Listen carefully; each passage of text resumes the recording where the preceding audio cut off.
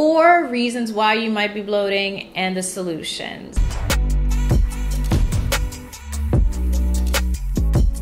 Hey lads, it's A back on your screen with another one. Hope you're all well. Today we're going to be doing another nutrition video. Thanks so much for all of you who commented and liked the last. We're going to be talking about bloating. This is a topic that a family member asked me about. I'm like, you know? That's to be my next nutrition video. So you guys want to come up with a topic for the next one, you know where to leave it. So this one, I broken down into four segments four reasons why you might be bloating and the solutions. I know there's more than four reasons, but for sake of time, let's just keep it down to these. The way I see it when it comes to nutrition or actually just health and wellness in general, you always want to find the root of the problem and then look for the solution. I find it hard when you don't know why to try to course correct and I think this is the best way of looking at health and wellness. Instead of kind of thinking, okay, I'm this, so I'm gonna do this, pinpointing what it is. Is it an allergen? Do you have an intolerance? Is it that time of the month? Are you not feeling yourself? Everything is about getting to know yourself. And nutrition is like personal finance. I love when my cousin said this to me last week. Personal finance is just that personal. No one's ever framed it to me that way. And then when I was thinking, you know what? Nutrition is exactly the same. One thing that I missed about being in school was when my profs would say, nutrition is different for everybody. We have this thing called bioavailability, which I'll talk about more in depth in another episode. And pretty much what it is is your body's ability to absorb nutrients, which is different from another person. So, all that recommended intake, daily value stuff is cool. But depending on how your body operates, the same apple you eat may impact your body differently from the next person. And I want you to keep that in mind as you're getting to know yourself on your health journey. So, with all of that said, let's get into the four reasons why you may be bloating and the solutions. The first and most obvious is water retention. And you'll know that you're bloated because of water retention. You'll feel tight and just like, you know, it's a quintessential feeling of bloating. You probably clicked this video because you've experienced some kind of bloating, but if you haven't before, bloating is that feeling when you feel expanded, distended, like your belly is a beach ball. I hate that feeling personally, and I've had it for all four of these reasons, so I can speak from experience. But when you are retaining water, it's probably because your sodium intake is too high. So, what do you do?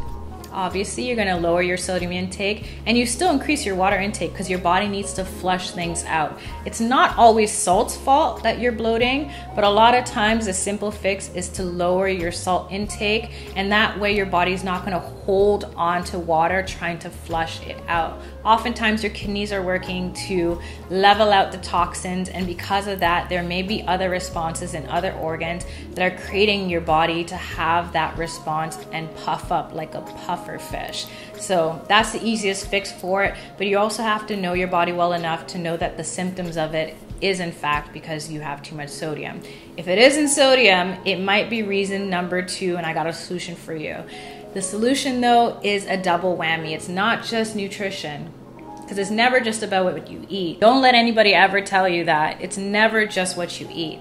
So if you are intaking too much fat, you're gonna have that. And the thing about being a human is nature made us this way where fat stores around the midsection first and it's the last to go. And even me, a skinny mini, has that problem too. So you know what I do? I do core activating workouts. Not just yoga, which does activate the core depending what pose you're in, but I will focus. As much as I hate a core workout, I will focus on the core until it is gone. And you have to couple that with, of course, reducing your fat intake because it's not one without the other. You can't eat like trash and expect your body to be banging even if you're working out. You have to have that balance. I don't believe in cheat days, I believe in cheat times. So if you choose to eat bad for lunch, eat well for dinner. If you choose to be a little lackadaisical for breakfast, eat clean for the rest of the day. But we'll talk about that more if you're interested. So when it comes to intaking fat or salt, keep them things at a minimal in general, but especially if you're bloating and you find yourself too often feeling just, ugh, in that area. The third reason we touched on this a little bit in last week's episode is inflammation. Inflammation is that silent trickster. It's just that thing that's in the cut causing problems in different part of your body all the time. And you know you're bloating because of inflammation because your body's gonna tell you so. You'll feel the pain. If you feel bloating in your midsection, it's probably a sign that you might wanna up your spices. I talked about this in last week's episode as spices are so crucial and it's just such an easy fix. You just put them on the food you're eating, and they have so many benefits, including helping your body with its inflammation response. Usually, inflammation is your first sign that your body might be trying to fight an ailment that will further progress to a disease disorder. You have to pay mind because these things can go from bad to worse. If you find that you're inflamed in that area, not just increasing certain spices like turmeric and black pepper and cloves that will help just neutralize that area. You also want to have foods that are not going to irritate. So when I say spices, I don't necessarily mean spicy food. I used to work at the restaurant, people would be like, no salt, no pepper, no garlic. I'm like, what? Some people really can't take anything, and I pray for them because I can't imagine a life without spice. That doesn't sound like a life to me. But if you're not a spice person and you don't like it spicy, because spice spicy is not the best when you feel that kind of pain then I would suggest having things like a probiotic that will help with the healthy gut bacteria and regain the balance that's supposed to be in that area. When it comes to inflammation in general, and this is just for the whole body, your best defense is finding the root of the inflammation and then bringing it down, not just popping in an Advil and calling it a day. You always want to solve the problem at the core, not the symptoms. You know what I mean? Fourth and final for today, why you might be bloated is you need to clean it out. I saved the most grimy for last. Yes, it is true that if you don't eat clean, you get clogged up. So what you going to do? Fiber, both soluble and insoluble. If you haven't heard these terms before, soluble, I always think of slows. it's a fiber that slows down the process of digestion by which helping you slow down your absorption of sugar fat, which also helps if you're pre-diabetic or just in general. Then insoluble, it doesn't soak up water, so it kind of sweeps out and it actually speeds up things too. So if you find that you're constipated, it's going to soften your stools and make it easier to pass.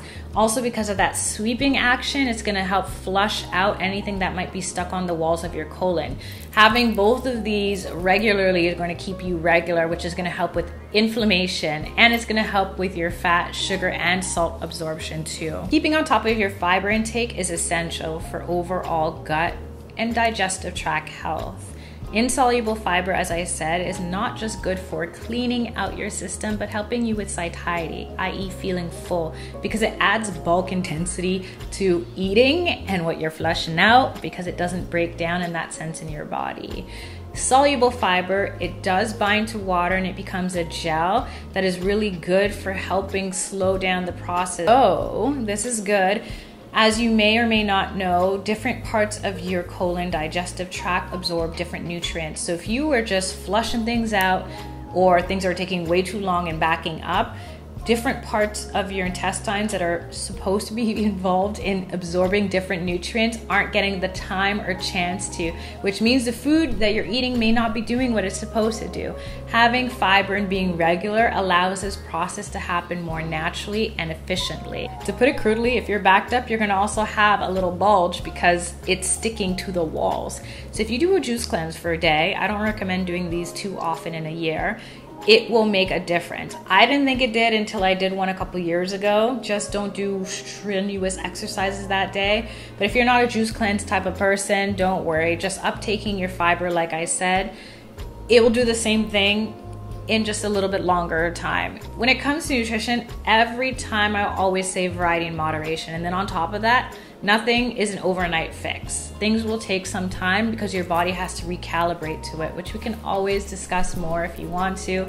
There are so many ways and directions we can take this. One thing I love about nutrition is The industry is always evolving, and like I said earlier, nutrition is personal to you. So do your research too, and make sure that you're always looking within before you seek information externally, because your body will always give you the keys and signs you need to know about where you need to go with your health journey. So that's all I got for today's video. I hope that I said something that helps. If you have anything to add, leave it down below. Let me know. And until next time, stay safe, stay sane, stay blessed. Love and later.